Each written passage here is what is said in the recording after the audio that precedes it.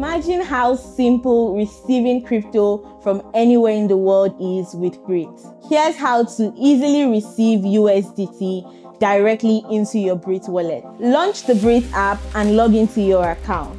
On the home page, tap Receive. Select USDT from the list of available cryptocurrencies. Share your unique USDT wallet address or QR code with the sender. Once the USDT is received, you will see a confirmation on your Breet app.